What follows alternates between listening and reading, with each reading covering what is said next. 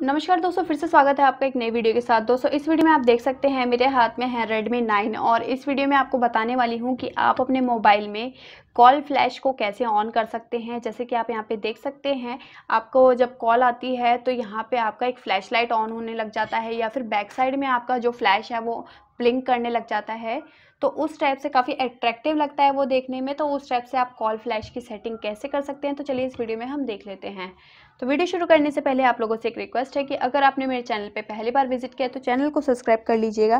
साथ में bell notification icon को ज़रूर दबाइएगा ताकि मेरे आने वाले अपडेट्स आपको मिलते रहें। तो अब आपको क्या करना है कॉल लॉक्स पे चले जाएँगे नॉर्मली और कॉल लॉक्स पे जाने के बाद आपको क्या करना है सेटिंग पे चले जाना है कॉर्नर पे। सेटिंग पे जाने के बाद ऐसे स्क्रॉल करेंगे तो यहाँ पे आपको इनकमिंग कॉल सेटिंग का ऑप्शन देखने को मिलेगा। आपको इस पर क्लिक करना है और फ्लैश वैन रिंगिंग पे आपको क्लिक कर देना है यहाँ नॉर्मली जब भी आपकी इनकमिंग कॉल आएगी तो यहाँ पे आपके फ्लैश लाइट ऑन होने लग जाएगी ब्लिंक करने लग जाएगी। तो इस टाइप से आप कॉल फ्लैश की सेटिंग कर सकते हैं अपने मोबाइल में। तो आई होप का ये वीडियो आपको ज़रूर पसंद आया होगा। अगर वीडियो पसंद आया तो लाइक शेयर एंड सब्सक्राइब ज़रूर कीजिएगा चैनल को। तो चलिए मिलते हैं आपको एक नेक्स्ट वीडियो में। तब तक के लिए नमस्कार।